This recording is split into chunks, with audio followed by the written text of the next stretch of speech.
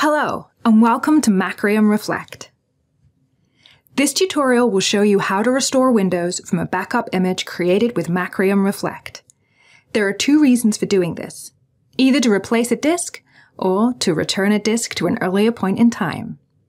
In this video, we are restoring to an earlier point in time. We have assumed a system image has already been created. First, select the Restore tab.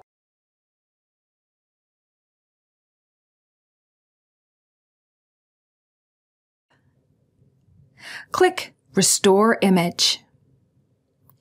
This image contains the system partitions required to boot Windows. This area shows us the current state of the destination system disk. Click Copy Selected Partitions. This area now shows the result of the copied partitions. Click Next.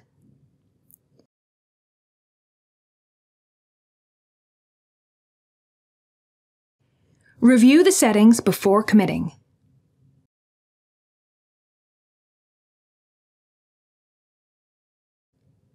If you have not already added it, you will be prompted to add a Windows Boot menu option.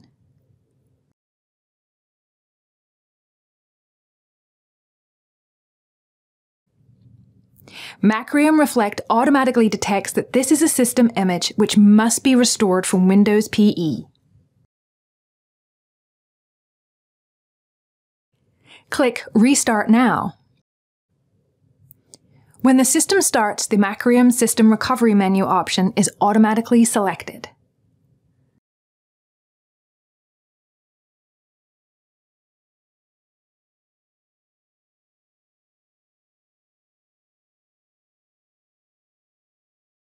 The restore process starts automatically.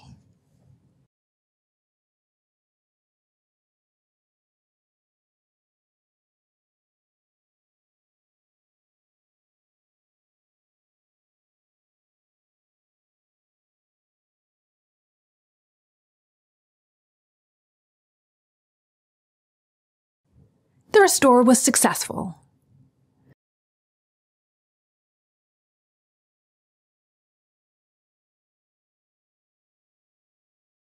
Windows is now the default startup option.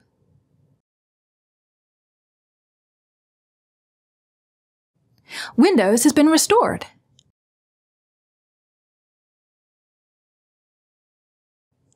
Thanks for watching.